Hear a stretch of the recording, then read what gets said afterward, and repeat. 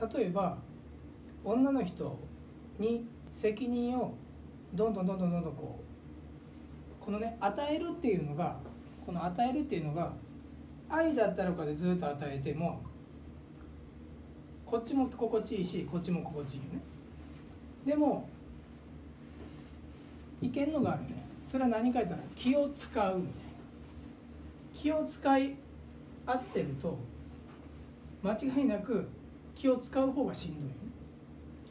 夫婦は愛し合うものだけど気を使い合うと僕はどうなのだろうって思ってます。